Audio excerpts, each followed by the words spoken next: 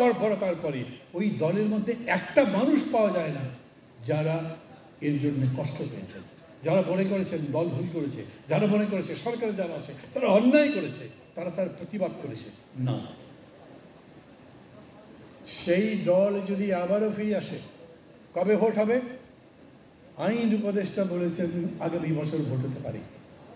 উনি বলেছেন কি কি করতে হবে নতুন ভোটার লিস্ট করতে হবে।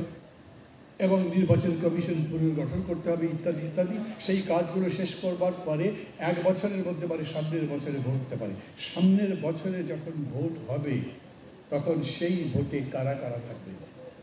আবার তারা সেই প্রেতাত্মা আবার আসবে।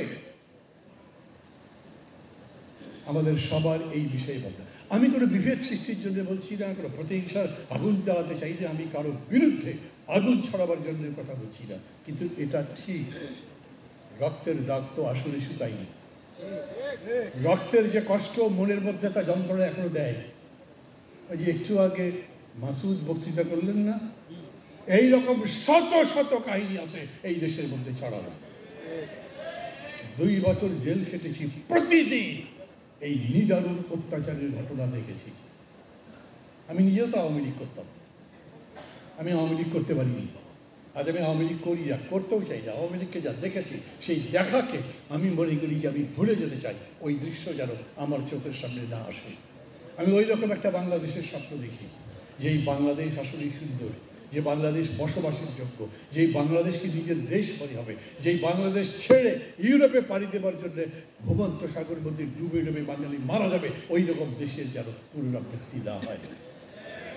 ওই রকম দেশ গড়বার জন্য সেই কারণেই মুফতি মোহাম্মদ আক্কাস কোন পার্টি করেন কিচ্ছু যায় আসে না।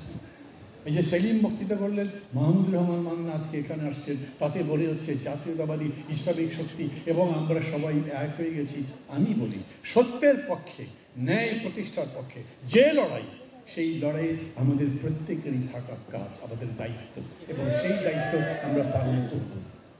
সেই লক্ষ্যেই চলুন, ঐক্যবদ্ধ হই।